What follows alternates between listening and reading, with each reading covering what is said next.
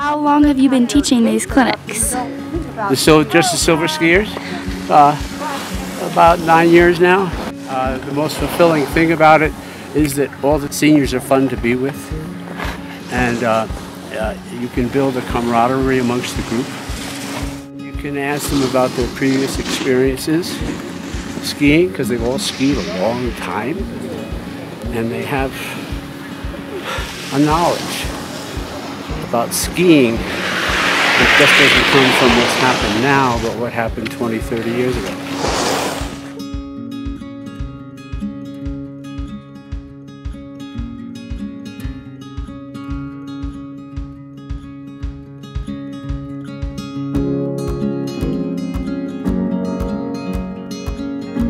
my second year Silver Ski Clinic. Uh, I've been doing it pretty regularly this season, and it is awesome. I always pick one or two things off each each clinic to work on the rest of the week. It's really cool. A regular lesson format where I could be continually working on my technique and learning new things.